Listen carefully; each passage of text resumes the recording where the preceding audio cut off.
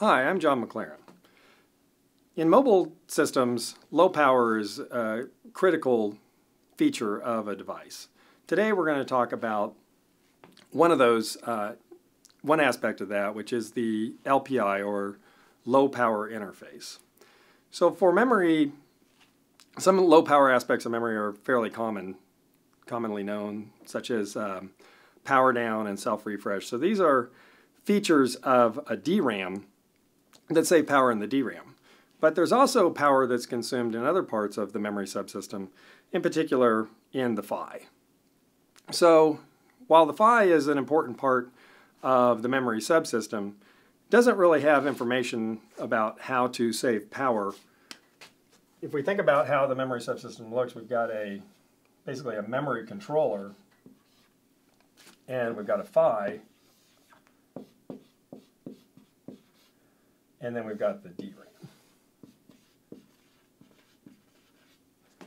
So the PHY is essentially the physical interface between the, system, the subsystem or the memory controller and the DRAM. So while it plays, plays an important part in the subsystem, it doesn't have information about what is the, the state of the uh, memory at any given time or what is happening back in the system. That information is known by the memory controller. So the LPI that's where the LPI comes in. The LPI is actually part of the interface between the memory controller and the PHY. There's a, we have a standard interface. It's called DFI.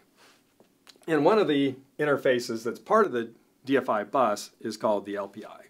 So what the LPI is used for is it's a way for the memory controller to communicate to the PHY things like what is the low power state of memory and what is the required wake-up time uh, of the PHY? Um, so for example, if the DRAM was put into a power down state, which is one of the lower, uh, lesser power saving modes, we may be in a state where we want to be able to wake the memory back up very quickly when new transactions show up. So in that case, we want to save power in the PHY, but we don't want to power down parts of it that are going to take a long time to wake back up. So we call this a light sleep.